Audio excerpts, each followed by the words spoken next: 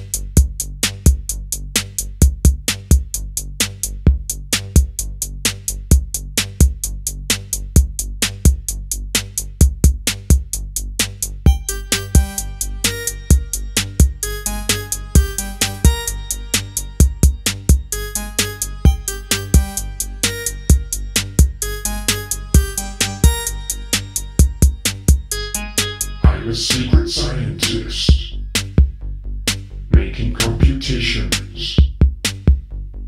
I'm a secret scientist